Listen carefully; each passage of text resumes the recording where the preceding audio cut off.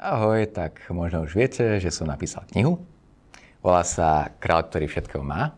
Je to taká a maličká uzúčka knižka, tak na 15 minút čítania. A je to príbeh o kráľovi, ktorý zistil, že zomrie a tým pádom premýšľa nad zmyslom života aj to, ako prežiť posledné dni.